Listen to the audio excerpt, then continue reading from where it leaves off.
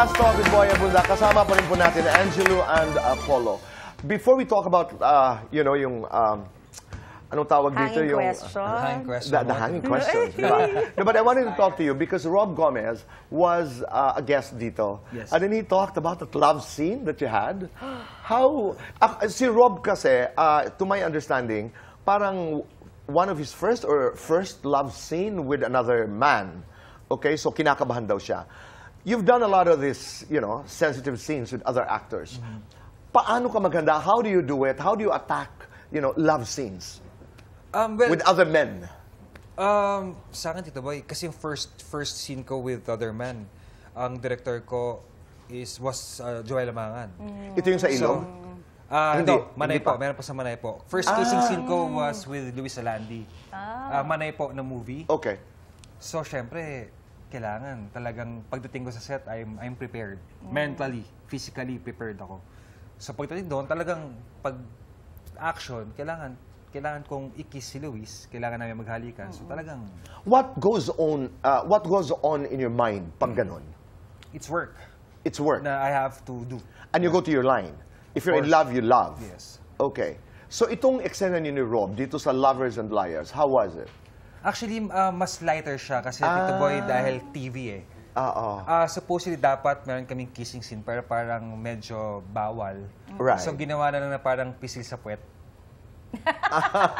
so mas Alright. lighter, mas lighter. Okay, I understand. And then you brought past uh, totoo? Yeah. Ang ginawa ko kasi, um, para, gusto ko kasi malaman kung tama yung attack namin. So, ang ginawa ko, yung fiancé ko, pinaupo ko sa tabi ng director. Pag kinilig siya, dun sa eksena namin, ibig sabihin, meron kaming chemistry ni Rob.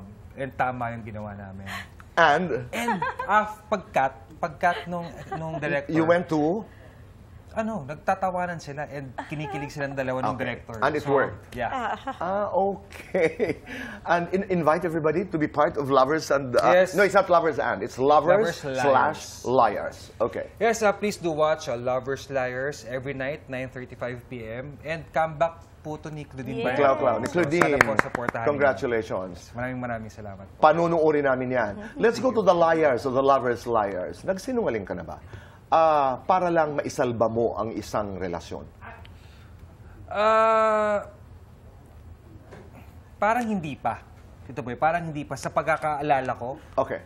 parang hindi pa ako nagsinungaling para lang sa para lang maisalba yung isang relasyon. Um, naniniwala kasi ako na parang dapat kailangan maging totoo ka parate. eh. Kung ano man ang mangyayari, at least nasabi mo yung kung ano yung katotohanan. Okay. Diba? Let's So, do fast talk. Yeah. Okay. Ooh, I'm curious. Polo or t-shirt? Ah, Polo. Lover liar. Lover. TGIS, Ana Karenina. TGIS. Teen show, fantaserye. Fantaserye. Bida kontra bida. Ah, bida. Maaksyon, mainit. Mainit. Magpapaiyak, magpapasabik. Magpapasabi. Hot daddy, cool daddy. Hot daddy. Sex is part of your body. Ah, my chest. Saan ka kinikiliti? Wala akong kiliti. Ito ba Tuwing kailan ka kinikilig? Tuwing kailan? Pagkasama ko yung fiancé. yeah. Tuwing kailan ka naiiyak? Naiiyak? Ah, pag may nakakayak na eksena. Artistang niligawan mo noon.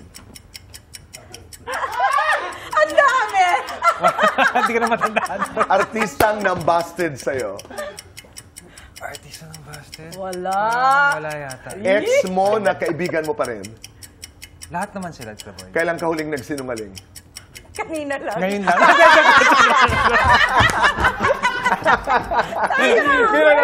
Boy. Lights on or lights off? Ah, lights up. Happiness or chocolates? Happiness. Best time for happiness.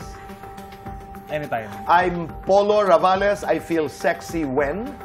When I'm acting, That's interesting.